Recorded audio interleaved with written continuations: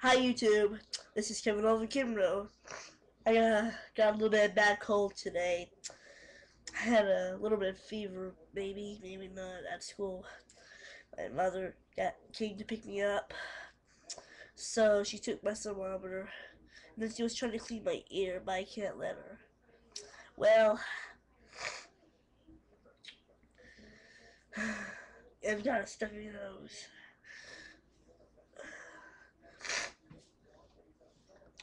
And uh, anyways, I watched one of my friends work on letters and stuff.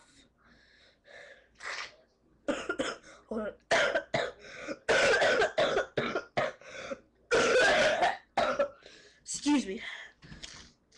And got coughed too. And, uh, excuse me, cold stop, cold cause. Anyways, that's all say. Subscribe today for more videos. See you next time. Hope I can feel better.